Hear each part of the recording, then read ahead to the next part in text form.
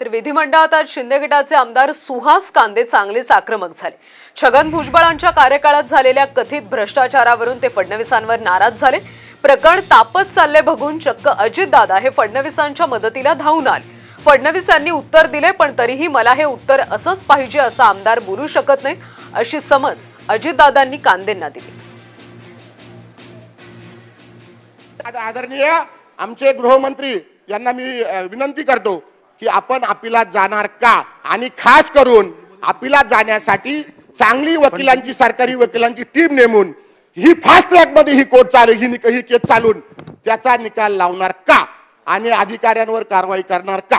कुठल्याही प्रकारे त्याच्यामध्ये अपीलमध्ये जाण्याची आवश्यकता आहे असं असताना देखील आपण गेलेलो नाही असे कुठली त्या संदर्भातली बाब असेल तर जरूर या संदर्भात शासन योग्य ती कारवाई करेल.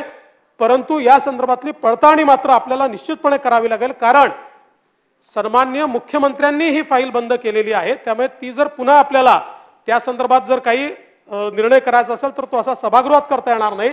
त्या संदर्भातल्या कायदेशीर बाबी आपल्याला तपासाव्या लागतील आणि त्या बाबी तपासून मग त्यानंतरच अशा प्रकारचा निर्णय करता येईल.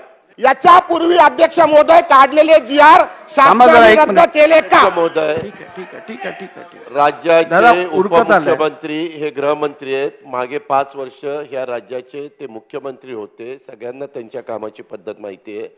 उत्तरं देत असताना आम्ही पण सभागृहामध्ये तीस तीस वर्ष अध्यक्ष महोदय काढलीत. आपण पण वकिली केलेली आहे.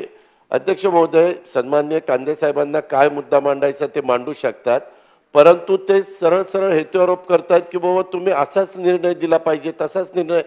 इतकं व्यवस्थित तुम्ही स्वतः उत्तर ऐकलेलं आहे. फडणवीस साहेबांनी उत्तर जे काही दिलेलं आहे त्याच्यामध्ये उत्तर दिल्यानंतर मंत्री म्हणून सरकार म्हणून त्यांनी उत्तर दिल्यानंतर एखाद्या त्या किंवा इकडच्या सदस्यांनी मला हे उत्तर असंच पाहिजे असा आग्रह नाही करता येत अध्यक्ष महोदय.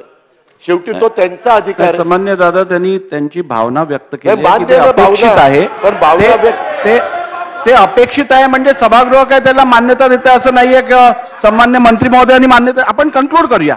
लगेच कन्क्लूड करूया.